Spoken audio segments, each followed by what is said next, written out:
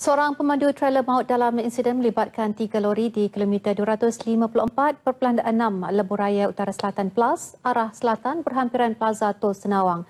Pengarah Jabatan Bomba dan Penyelamat Negeri Sembilan, Norazam Kamis, dalam satu kenyataan mengesahkan mengenai kemalangan maut berkenaan.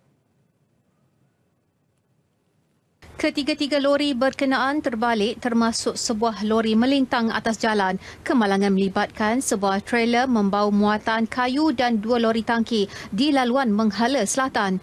Sementara itu, Ketua Polis Daerah Seremban ACP Tiu Hok Boh mengakui akibat insiden berlakunya kesesakan lebih dua jam pagi tadi. Satu lorong menuju ke arah selatan telah dibuka manakala dua lorong masih lagi ditutup. Satu lorong kontra ke arah selatan juga dibuka bagi melancarkan perjalanan pengguna lebuh raya. Setakat laporan disiapkan kerja-kerja pembersihan dan pemindahan giat dijalankan.